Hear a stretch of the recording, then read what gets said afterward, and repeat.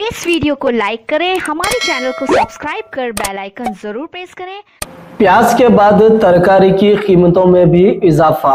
तरकारियों की कीमतों में अचानक ज़बरदस्त इजाफा हो गया, जिससे गरीब और औसत तबका इजाफी माली बोझ से आयद हो गया। पहले प्याज की कीमत में इजाफे से अवाम परेशान थी, अब तरकारी की कीमतों में इजाफा हो गया है। रिटेल मार्केट में 40 था 45 रुपए फ़ी किलो प्याज फरोख्त की जा रही है। महाराष्ट्र से प्याज की सरबराही में कमी की वजह से प्याज की कीमतों में इजाफा हो रहा है।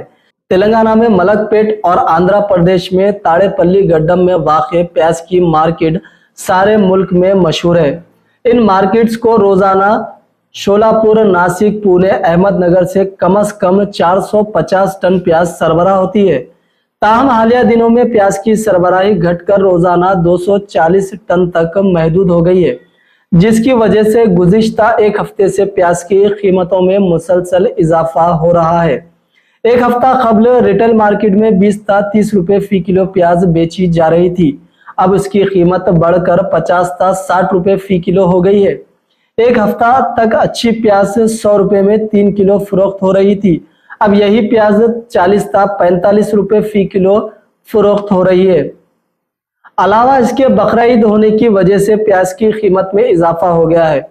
डिमांड और सरबराही में फ़र्क पैदा हो जाने की वजह से प्याज की कीमतों में इजाफा होने का ताजरीन दावा कर रहे हैं। तरकारी की कीमतों में भी इजाफा हो जाने पर एरागड्डा रैतु बाज़ार के ईओ रमेश ने अहम रिमार्क्स किया है। उन्होंने कहा कि मौसम बरसात में नई काश्तकारी की वजह से कीमतों में इजाफा हो रहा है। हर तरकारी की कीमत में कम अज कम दस रुपये फ़ी किलो इजाफा हो गया है। मुख्तलिफ़ अजला से रियासत को सरबरा होने वाली तरकारी में भी कमी वाक़ हो गई है, जिसकी वजह से तरकारी की कीमतों में इजाफा हो रहा है।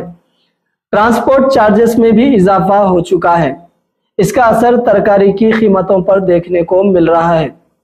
तरकारी में कीमतों का इजाफा आइंदा एक माह तक रहने का अमकान है।